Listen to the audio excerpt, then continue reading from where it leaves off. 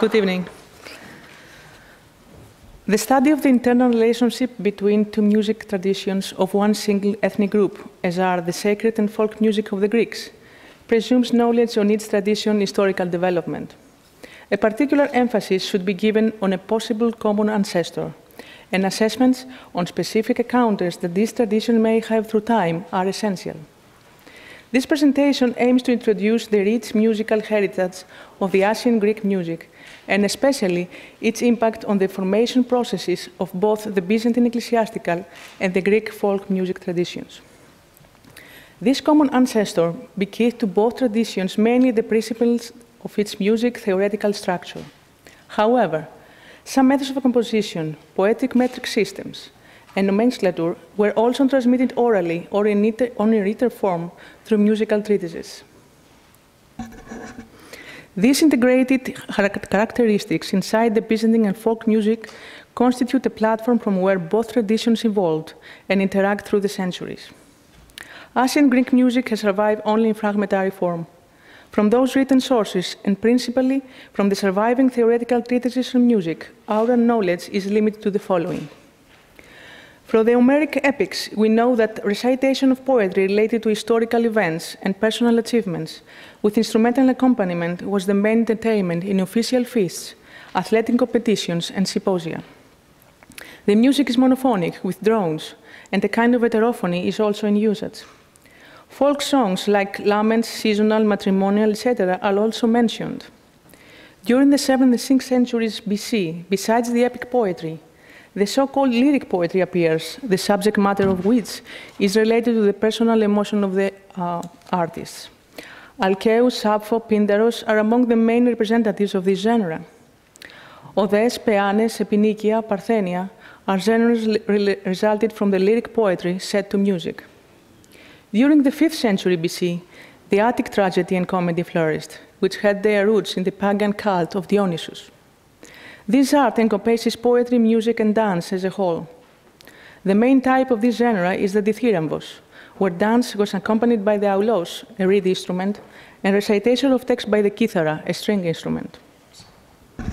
However, the most complete union of music, text, movement, and custom was developed in the drama, which formed the focal point of the public and religious festivals.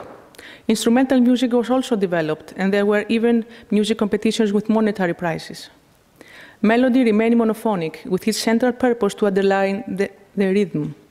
Rhythm was the most important element in the music making, associated directly with the rhythm of the Greek language.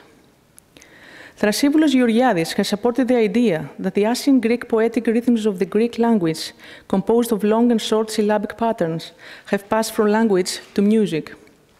The meters of the language are quantitative, and consequently, the rhythm of the music that accompany the words corresponding with patterns of long and short notes. Once the Hellenistic Greek dialect introduced the prosodic signs for the correct pronunciation of the words by non-Greek speakers, the rhythm of the language changed, and the old one continued to live only in music, and specifically to the rhythmic meters that have been passed in genuine or varied form into the Greek folk music. In other words, the accentuation of the words changed completely the rhythm of the language from quantitative to inflective. Therefore, the Byzantines adopted a rhythmotonic poetical meter based on the number and dynamic accent of the syllables and not on their duration short and long. Melody ceased to play the role of emphasizing the rhythm as was the case in antiquity. Due to the free rhythmic tonic nature of the hymn text, Melody's main target was to follow the inflection of the words in order to guarantee the clear delivery of the sacred text. However, what has been transferred from language to music can be detected in the Byzantine music notation. The neumes of the Byzantine notation, which derived from the prosodic accent of the Hellenistic Greek language, apart from their diastematic purpose, have also retained that particular function of accent, which, in a musical context, acquires the role of ornamentation. For example, until 1820, the Byzantine notation had six different neumes in usage to notate the interval of an ascending second. And it's just the figure one in your uh, handout. Like the prosodic signs used in language as a reading and phonetic aid, so that the words could be read correctly and convey their meaning in full, that same function was transferred to the neumes, granting them a twofold music function. directional, by pointing out the size of the interval, and prescriptive, on how to perform that interval. Regarding ancient Greek music theory, the tetrachord is the most fundamental unit from where all modes are derived. The outer notes of the tetrachord are fixed and called estotes, while the inner ones are movable and called metavoles. By the movement and specific position of the inner notes, the three genera, diatonic, chromatic, and enharmonic, were created. That's the figure two in your handout, which continues in the next page. These three groups of notes with a particular inner structure provide a distinctive quality of sound. According to Aristides Quintilianus, who lived around 300 AD, the diatonic genus is the first to be created since it is very natural and can, can be performed by anyone. The chromatic genus came later, since it is more technical to use and requires some music knowledge in order to be performed correctly. The enharmonic genus was the most technical of all. It required extended practice and was performed by few educated musicians. Furthermore, the Greek theorists arranged the tetrachords in pitch keys, also called toni, tropi, modes, or harmonie. There were seven modes in existence during Ptolemy's years around the second century AD. Each mode had its own harmony, and each harmony had its own ethos, with conscious associations to performance and audience. The modes were named after those ethnic groups related at some point with them. Labels such as Dorian, Lydian, Ionian, and Phrygian bear witness to this connection. In addition, the particular assortment of tetrachords formed two fundamental music systems, the greater perfect system and the lesser perfect system. The combination of these two is called the immutable ametabolon system. The Byzantine ecclesiastical music, defined as the music of the Greek Orthodox Church and born inside the historical context of the Byzantine Empire, became the carrier of some of the musical concepts of the antiquity. It retained the three genera, diatonic, chromatic, and enharmonic, modified to some extent in order to be included as part of the theoretical background of the new repertory. The melody, however, moves not in one, but in three scale systems, the octachord, the pentachord, the tetrachord. Therefore, although the concept of octave species of the Greek ancient music has been transferred to the tra Byzantine tradition, two more systems have been added. The usage of this system is related to the ambitus of the melody and the four modal idioms, recitative, which is a declamatory style, suitable for the reading from the Gospel and the Acts of the Apostles, heirmologic, a note against syllable style, sticheraric, a moderate non-syllabic style allowing two or three notes per syllable, and papadikon, which is a highly melismatic style where the text is sometimes not clearly delivered. Each idiom is configured by the specific relation between music and text and by the tempo in which the chant is performed. The Byzantine octoechos, on the other hand, as is defined in the context of the Greek Orthodox Church music, is a musical classification scheme which consists of eight modes arranged in four pairs. Every modal pair preserves an asymmetrical relationship between kyrios, principal, and plagios, plagal, which may bear witness of early stages of development. Also, there is a certain number of model variants, which have been called as messy or paramessy, but they have been considered as deviations of one of the eight modes in order to, for the octenary system to be preserved and altered through time. In theory, these model variations keep always a relationship with one of the modes and ever, never acquire the same stature. In practice, however, these modes are considered equally valid for composition.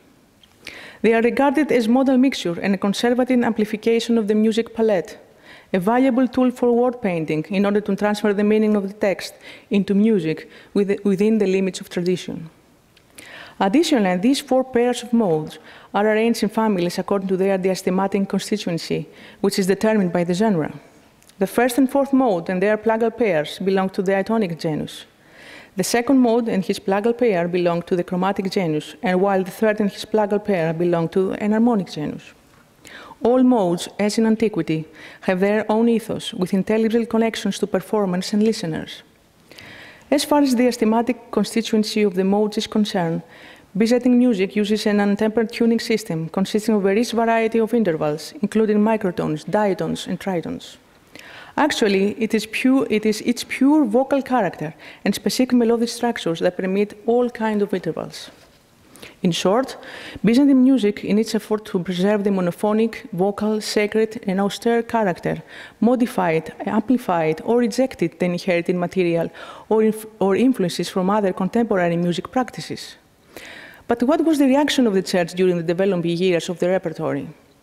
The early church permitted the setting of the sacred text to music in order to catch the attention of more people and compete with the heresies which threatened its survival. At this point, the introduction of folk music tunes cannot be excluded, since familiar to the people tunes could create a pole of attraction by itself to the new faith. P.H. Lang, in his book Music in Western Civilization, has proposed that although the first Christians imitated the chanting of the synagogue, once they came in contact with the Greek civilization, the Hebrew melodies were displayed by the local music tradition. However, when these tunes incorporated in the ritual, they were modified accordingly to serve a totally different purpose the spiritual communication with God under a wholly new conception.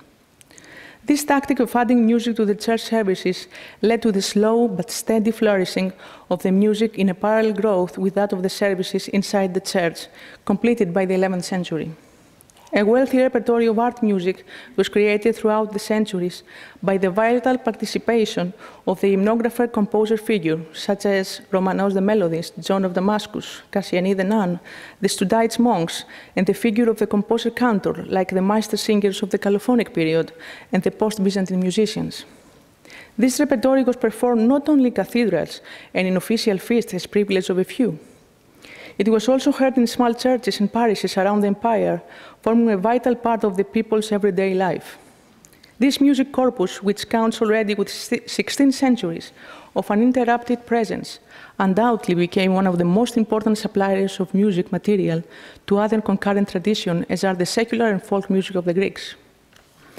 Although church music, due to its conservative nature, prohibited the intrusion of folk tunes that were not aligned with the Orthodox ethos.